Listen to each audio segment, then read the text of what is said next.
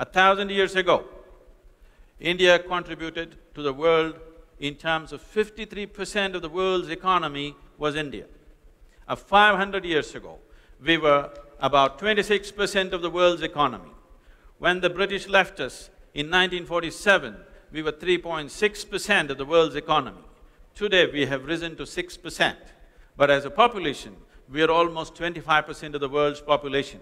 We must at least achieve this twenty-five percent of the world's economy in the remaining five to ten years. If we do not do this, we will keep our people subjugated forever.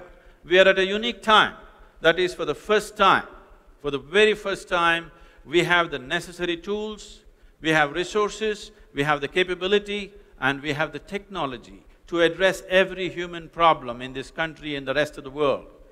This generation has a unique opportunity that we can move about six hundred million people from one level of existence to a completely different level of existence in an incredibly short time because we have all the means in place, the only thing that is missing is an inclusive consciousness among the people. And this is going to be the fundamental challenge that we will not identify with little identities that we have around us.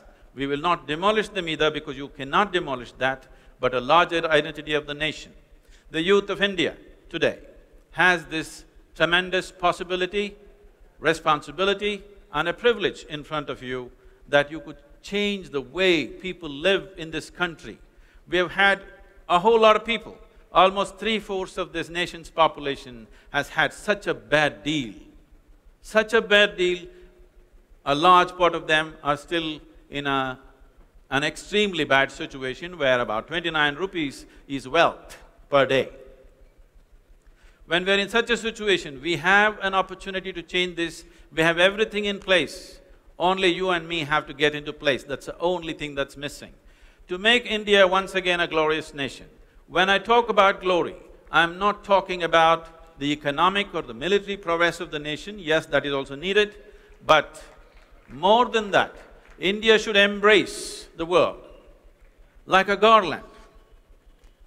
India is capable of bringing a new level, new paradigm of success into the world, a new paradigm of what it means to be successful, in terms of bringing human well-being. We have the necessary technologies and the wisdom to make this happen.